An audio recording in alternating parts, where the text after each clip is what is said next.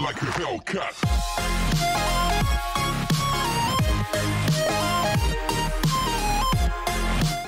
Before we get started, I have a favor. If you enjoy my content and want to see me continue to improve in both quality and size, please check out my Patreon linked in the description. Any amount helps and it is greatly appreciated. There are so many rewards for each level of donation, so go check it out. Now back to the video. Hey everybody, this is Emerald Avenger. Welcome to the uh, official patch notes for uh, uh, Crimson Heist. Um, in addition to some test server test notes for stuff that's going to be in the test server, but might not officially make it to the actual live season. Um, I can go ahead and go over those. Um, it's just a Nokk, uh, Nokk, Nokk, whatever rework. Uh, that basically makes it to where whenever she has her hail device activated, she's also immune to proximity-based gadgets. So, Grzmot, Kapkan, stuff like that. Uh, probably not Frost Trap, but it's just making her stronger, giving her more of a buff, so make her more useful against traps like that. So I think that's going to be a good idea. Uh, I think it'll be good for her. Um, her device's color will change whenever she's under within the proximity of one of those. So um, as soon as I can, I might go test it out to show you that. I'll I'll be more on top of showcasing the reworks once they are actually added, uh, since there are several coming across the next few seasons, uh, across the whole of the year. So yeah, let's go and get into this one, the Crimson Heist. Kicking off 2021, all of us at Rainbow Six Siege are proud to introduce Crimson Heist, a season that gears up players for the ultimate heist. A new operation is um, new operators joining our ranks. The sly and tactical Flores, an attacker from Argentina who knows how to mix uh, precision and passion. He brings the RCE Ratero charge, a remote controlled charge with a timed explosion that sneaks up um, on unsuspecting opponents. Crimson Heist is an action packed season that offers reworks uh, to border and to newcomer playlist, a secondary weapon, and plenty of other exciting additions. Are you ready to uh, to get the stash? Keep reading the patch notes below to discover more. So talking about Flores. we already have a lot of floors dealt with, but he does have um, the uh, AR-33 assault rifle and SR-25, which is a I don't want to say it's a DMR without thinking it's DMR. It's either a DMR or a weird looking shotgun. I mean, then again, I thought Finka's shotgun was an assault rifle, so who knows? Because it just looked like an assault rifle at first glance. And he can bring a stun grenade or a claymore. He's 2 speed, 2 armor, like most. Um, Mirror's comment uh, with a remote controlled function, this device uh, counterbalances the usual unpredictability of an explosion in a, dare I say, refreshing way. And of course, we can show off this one. Just showing it rolling in there. So it's basically just wider than a drone. Wider and longer than a drone. So it's tall as a drone, but it's wider and longer than a drone. And it explodes. Pretty neat. Um, that's basically all with him. Uh, we've already gone over him in another video.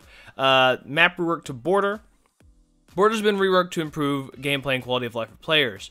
First floor bathroom has been expanded to provide a soft wall between uh, uh, first floor bathroom and first floor uh, first floor teller's bomb site, and the second floor archives bomb site has been extended into the offices on the second floor. In addition, an interior balcony has been uh, is now connecting uh, east stairs to uh, second floor uh, break room, and a new exterior staircase leads to the second floor archives balcony. New secondary weapon, the uh, GONNE-6.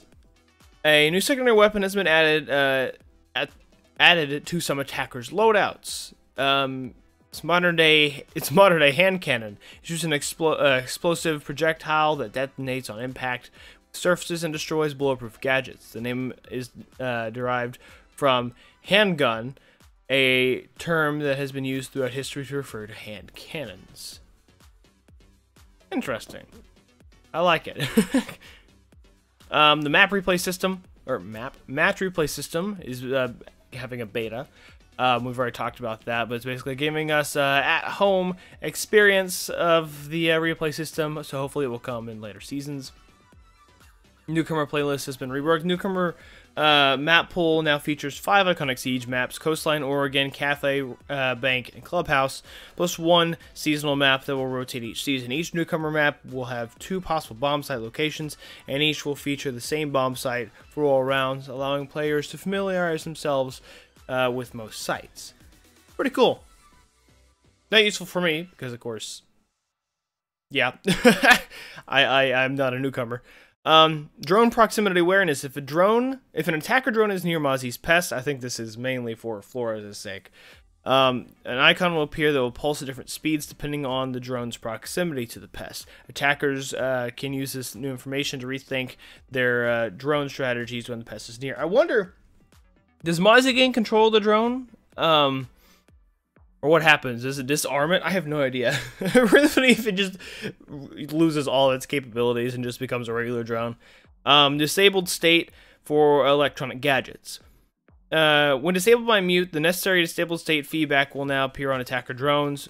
Breach charges, Hibana's Kairos, fused cluster charges, Thermite uh, exothermic charge, and Zero's Argus cameras. In addition, Claymore and Nomad uh, air jabs can now be disabled and we'll have the proper feedback. So it's a buff to mute, uh, a visual nerf, but a mechanical buff.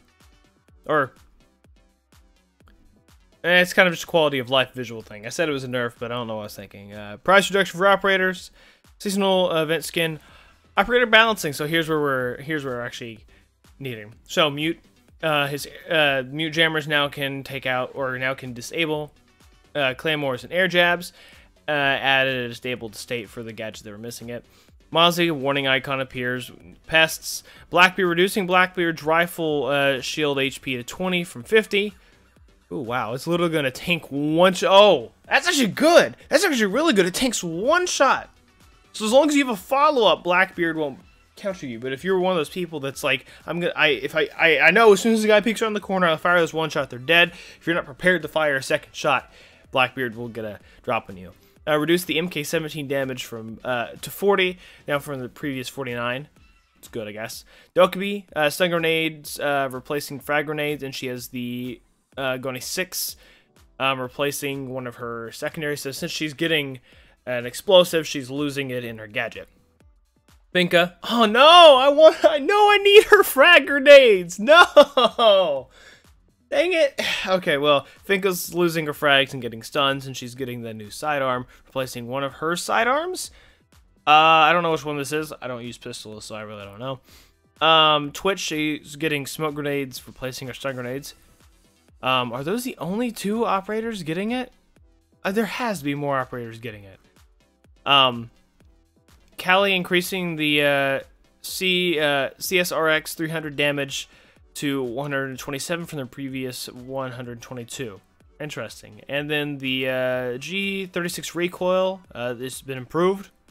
Just improved recoil for this weapon. How? what did you do? Um, game balancing, diffuser priority. Now, uh, the diffuser, whenever no one selects it, it will go to people that aren't like it, it, will go to it will be role specific. People that will be the ones that will go onto site will have it. Other ones like Ash that would be out of the way aren't the ones that will have it automatically put onto them. Um, on PC, activating or equipping a gadget will no longer force you to unlean. That's good. Situations. Progression uh, locks have been added to situations. Difficulties. Uh, difficulty of normal and hard situations is reduced. Weapon attachments have been adjusted. Uh, other quality of life changes have been made. Right, player comfort. Um, playlist parameter coherence. We've made a few changes to Newcomer. Okay, we've already talked about that. Streamer mode. Streamer mode uh, uh, preferences have been added to the options menu. Streamers can hide personal info on their screen from viewers and enable a hidden matchmaking delay. That's interesting, actually. Uh, prevent uh, prevents queue sniping when players taunt or kill streamers after deliberately queuing at the same time as them.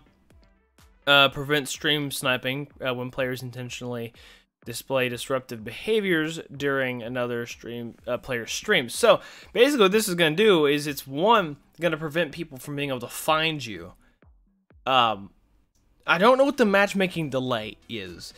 It's probably prevents you from like if you were going to you're watching a streamer and you go to queue at the same time that they do. It, it actually has them at a different timing. Maybe it's like a soft priority queue, possibly something like that, or maybe the opposite. It's the opposite of a priority queue. It kind of puts you a little bit at the behind to protect you. I don't know. That's quite interesting though. Um, all in all, um, stream delays do deal with that, but stream delays can remove your ability to interact with your people. So I like that. Um, Kapkan improve the deployment of uh, Kapkan's entry denial device, make it feel more intuitive and reliable. I play Kapkan a lot, so I have to try that out. ADS toggle. Um, players using the ADS toggle option are no longer forced back into ADS after performing an action that puts them out of it. So if you have a where you just click instead of holding to scope and you do an action, um, you'll immediately go back in the scope after the action instead of having to reactivate it. It's pretty cool. Spectator mode added um, multi kits feedback and team loadouts. Okay, for spectators. Um, achievements and trophies. The titles of some achievements and trophies have been updated. Huh. Okay.